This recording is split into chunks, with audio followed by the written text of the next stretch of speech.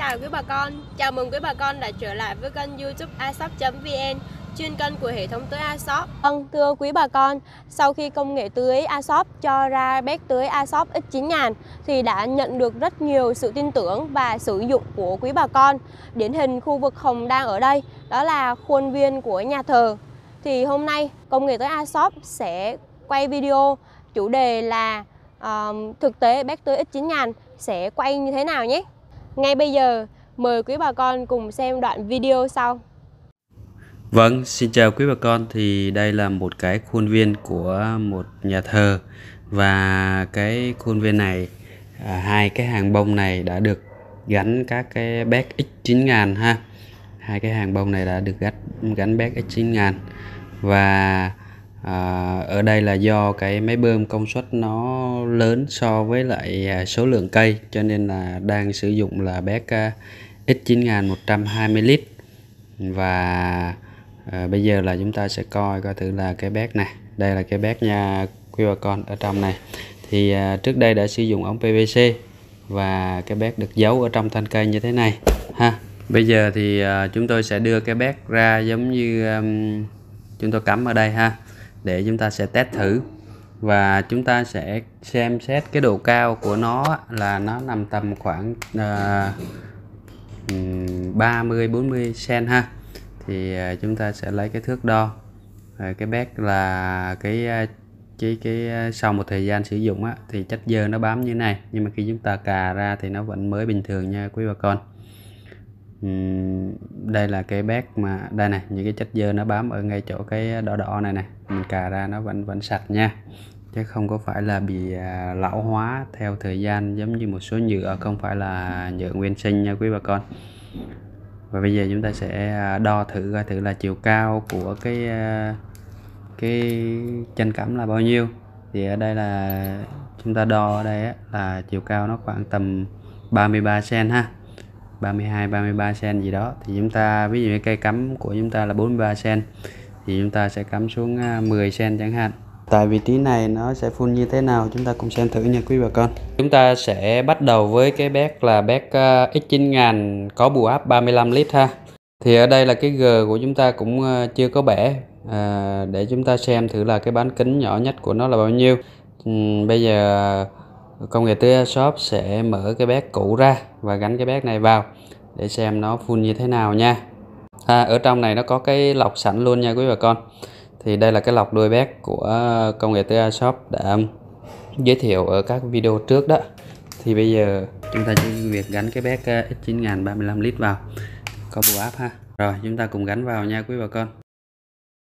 Sau khi gắn vào thì chúng ta sẽ bật bơm xem thử là nó phun ra rộng bao nhiêu thì ở đây là đã bật bơm rồi nha quý bà con. Đây, nó phun cũng khá là mạnh nha.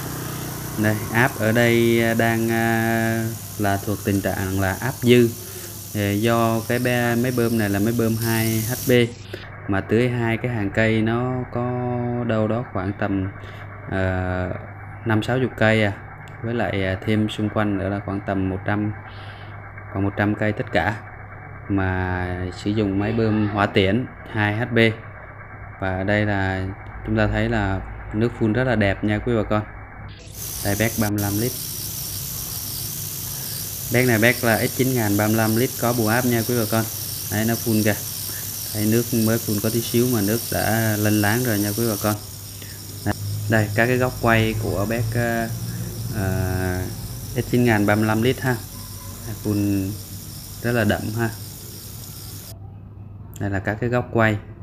Đây bây giờ công nghệ tới shop sẽ lấy thước đo thử xem là cái bán kính nó phun ra được là đối với cái bét của mình á, là với cái góc hẹp nhất. Tức là khi mà chưa có bể g đó, thì nó phun ra được ờ, bao nhiêu cm bán kính nha. Này xem thử coi. Này để xem xuống dưới xem coi nha. Nó ướt đều từ trong ra ngoài luôn ha. Tại vì với bán kính nhỏ thì hầu như là nó sẽ sẽ ướt trong cái phạm vi rất là nhỏ cây con của chúng ta. Nó không có ướt nhiều. Thì à, cái bán kính à, như lúc nãy là đo là nó là 80 cm ha. Bây giờ chúng ta sẽ bẻ g lên. Bẻ g lên xem thử là nó phun uh, à, bán kính bao nhiêu nha. Áp này là khoảng tầm 3 2 kg rưỡi đến 3 kg này nó phun rất là rộng nha thì chúng ta sẽ để thử xem là một thời gian thử xem làm cái um, uh, nó ướt hết đều thì nó sẽ ra là khoảng cách cái ban kính nó là bao nhiêu. Ở chỗ này nó có một cái góc khuất nhỏ nha um, quý bà con. Đây cái góc khuất này là chính là do cái um, cái cánh của cái uh, thân thân bét đó. Nó bị uh, chắn lại một tí xíu. Tất cả các bét là đều có những cái cái vấn đề này hết nha đều đều bị những cái góc này. Cho nên là là là tại vì cái thân của nó khi mà hình thành để đưa lên uh, giữ cái móc treo á, thì nó phải có cái cái cái uh, cái góc khuất tất cả các bếp. Thì uh, bếp Asos S9000 nó cũng vậy nó cũng không thể nào tránh được cái chuyện này. Trừ khi là cái thân nó không có. Thì bây giờ là chúng ta thấy rằng là chúng ta sẽ đo thử coi là cái bán kính nó là bao nhiêu đây. Sau khi quay một thời gian ha, chúng ta quay, cho nó quay ướt một thời gian. Rồi chúng ta xem coi thử là nó, cái bán kính của nó là bao nhiêu. Bây giờ ờ, công nghệ tưới iShop à, sẽ đo cho quý bà con xem này lấy từ trong tâm ra ha. Đó, chúng ta lấy từ trong tâm ra. Kéo ra tới ờ, tới ngoài. Và chúng ta đo thử coi thử là bán kính là bao nhiêu đây là bét uh, Asos X9000 35 lít ha. Bét tưới Asos X9000 35 lít. Đây bán kính ở đây là khoảng tầm à, uh, 3 mét rưỡi ha. Thì uh, đây với áp cao còn nếu mà áp thấp thì nó khoảng tầm 3 mét 3 mét 2 gì đó. Tùy theo ha. Thì các cái dòng bét của X9000 hầu như là nó nằm trong giới hạn để, từ uh, bán kính xa nhất từ 3 mét đến 3 mét rưỡi. Đối với các cái bét bù áp á. 3 um, 35 55 95 đây. Và bây giờ chúng ta sẽ thay thử cái bét là 55 lít xem thử là cái 9000 55 lít là nó full như thế nào nha quý bà con. Đây, gắn vào. Và cho nó cắm lên lại.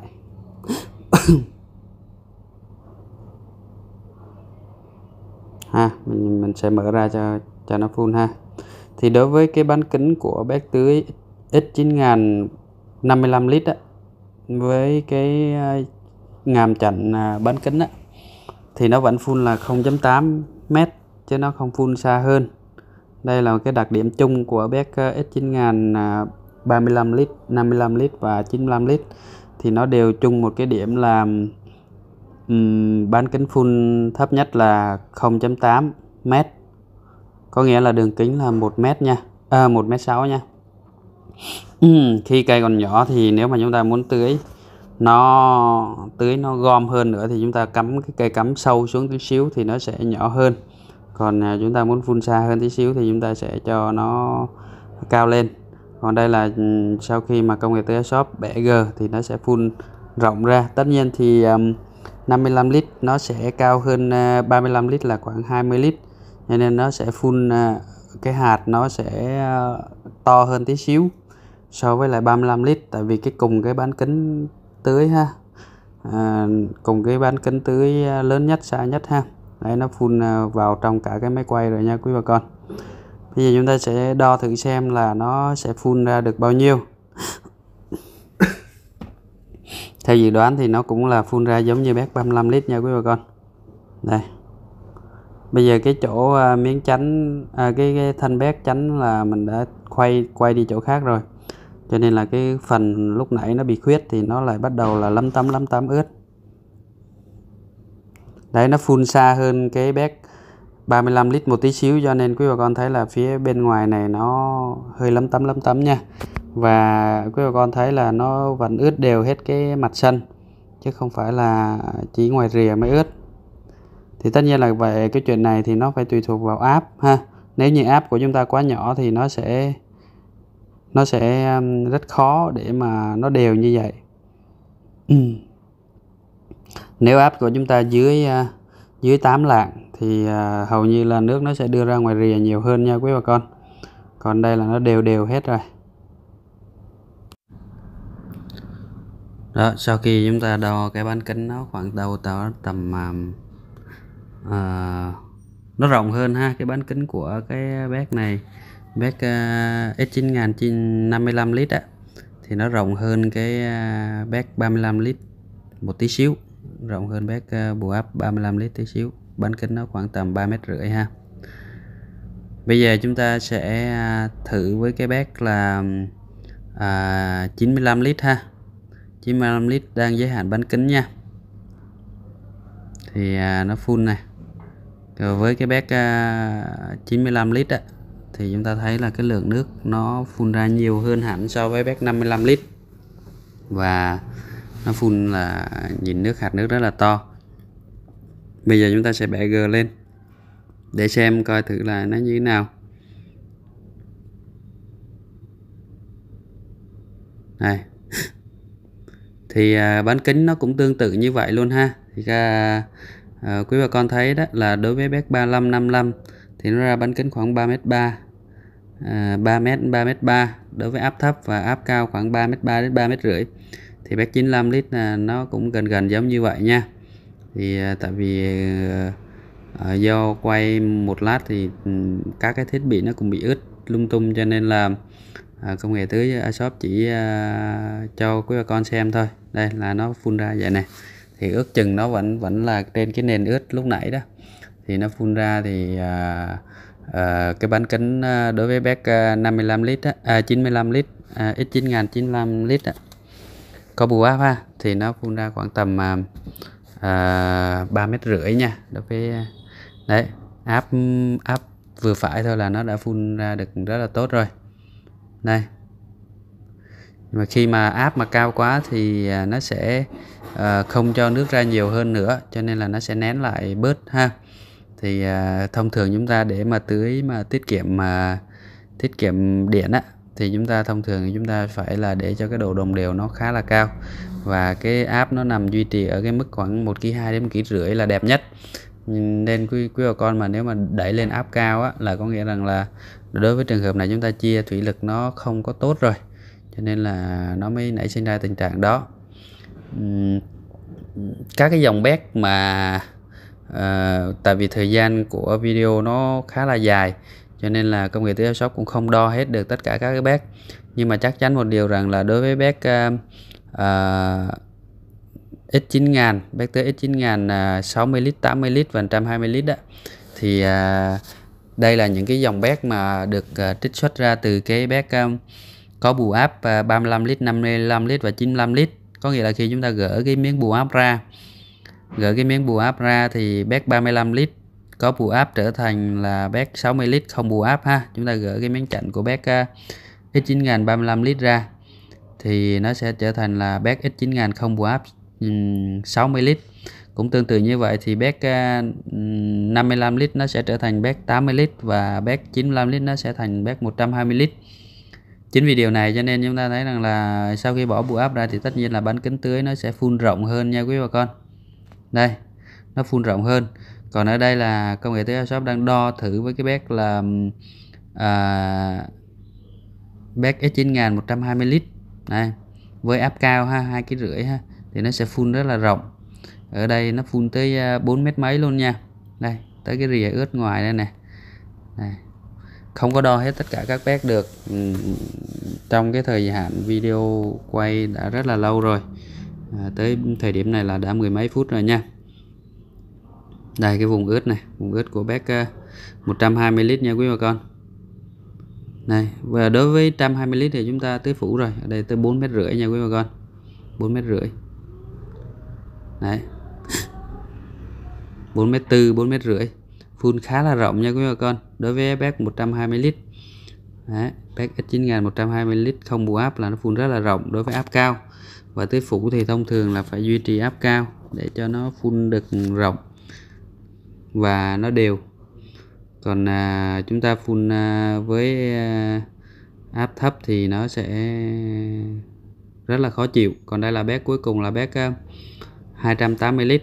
Và bét 280 lít thì chúng ta sẽ không bao giờ chúng ta để cái à, miếng chặn bán kính mà chúng ta phun luôn phun phủ luôn.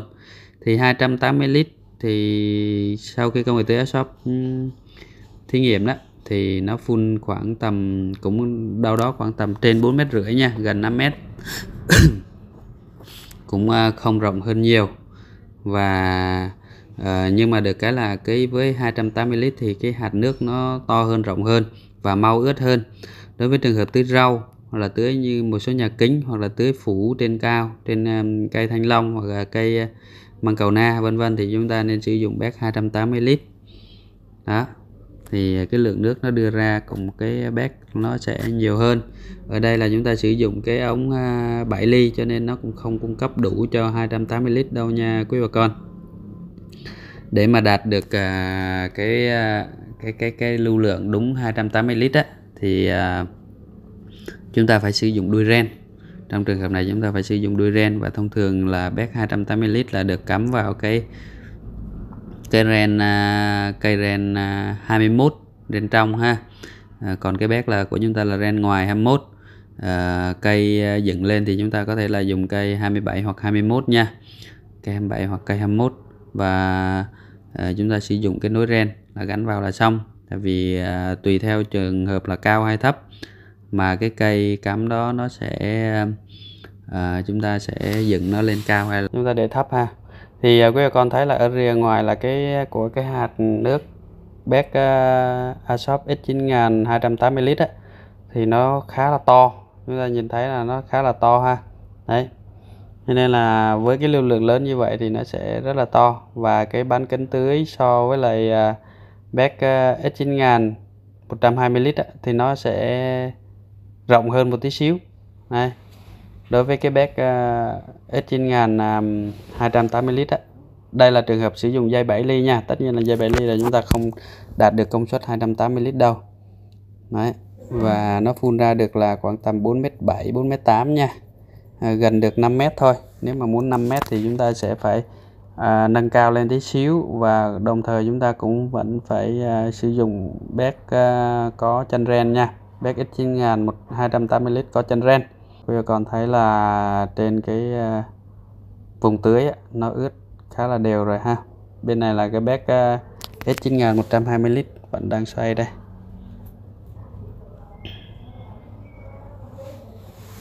Này đây là cái góc quay của nó ha. Nó xoay nó phun tưới rất là rộng.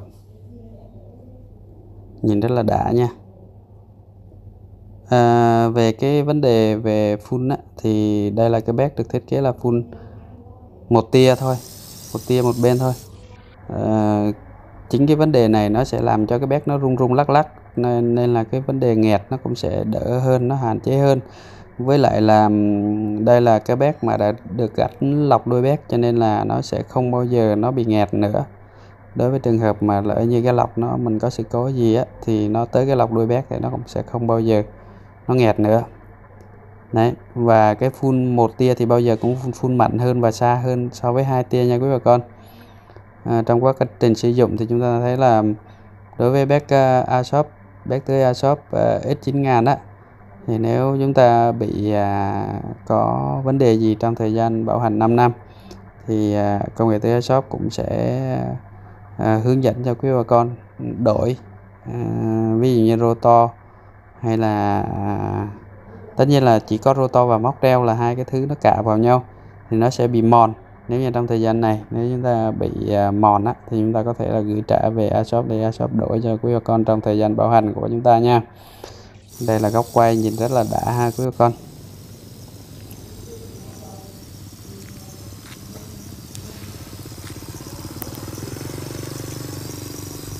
Này phun nhìn rất là rất rất, rất là đã luôn nha đây